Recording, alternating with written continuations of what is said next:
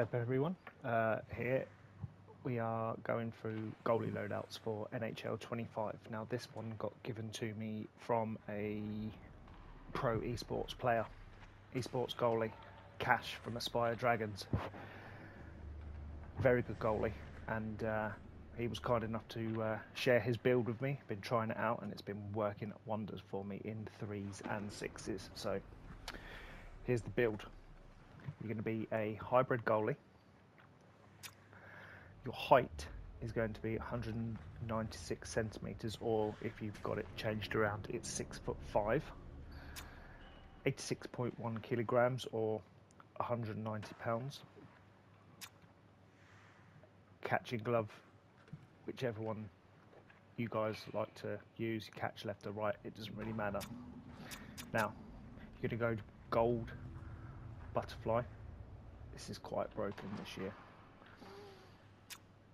But then so is gold post to post, but with this specific build you need gold butterfly. So silver post to post, this is really going to help you get across the goal. Now this year, it is an absolute must. You are going to need one timer because the one Ts that players are doing this year in 25 are absolutely ridiculous. So you're going to need one timer in this build. helps massively with one timers as long as you can track it properly and position yourself. Nine times out of ten, you're stopping that one T. So no timer is a must. Your boosts, you need a quick recovery for any rebounds because rebounds are ridiculous and we all know how slow goalies can get up, especially from 24 not so much 23 but 24 yes they were extremely slow at getting up. And glove vision for this will help you stop uh, one timers either side. Um,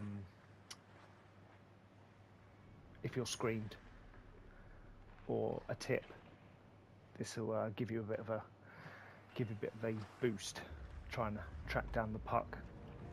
Now attributes you're going to need 89 glove low, 89 stick low, and your 5 hole, put it down to minus 3.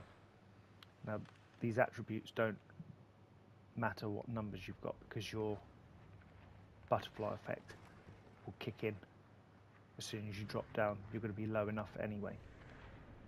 So put these settings down to 89, 89, 83 hands. You want plus 1 glove high for the 1Ts. So set that to 90. Stick high, again for one T is a blocker side, whichever side that may be for you, at 90. You're passing, it's not a big issue. Uh, put it down to 84. Now your speed, you're going to need to be quick this year. The uh, puck handling for players this year is absolutely insane. So speed, you want to want that at 92, so plus 3. Agility, at 93, so plus 4. Don't worry about poke checking. Poke checking's all to do with timing and luck. So put that down to 85. Your durability is not an issue. You've got a health bar after two saves. You're practically dead anyway. You're in the you're in the red. So put that down to 85. Same with endurance. Same things. Durability. After two saves, your health bar's gone down to red anyway.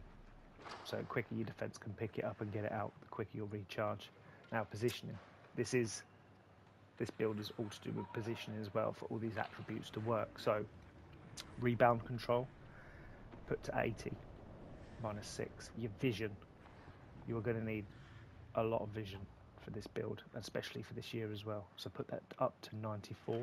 Breakaways, we all know how quick players can be, especially with the stick handling this year. Put that to 94 your angles. If you can set your angles right and your positioning right, it's not too much of an issue because again, your abilities will help you cover that and if you can position yourself right. And recovery, you're going to need a very quick recovery. This is a recovery build. Also, it's, it's both. It's a recovery and positional build. So put your recovery to 96. Um, your stance which would help you massively. It's quite a wide stance and it keeps you very low, and your player, your goalie, will get lower as the puck comes more towards your crease. So if you go with stance 50, you won't need to move across the net as much to cover your posts because your goalie have a bit of a wider stance. So give it a go. Let me know what you think in the comments. And uh, yeah, that's the build. Thank you very much, guys. Any more builds that you guys can think of, or you want me to try out, or you want my opinion on, leave a comment, and I will get back to you as soon as I can. But enjoy. Try this build out. Let me know what you think. Thanks, guys. See you later.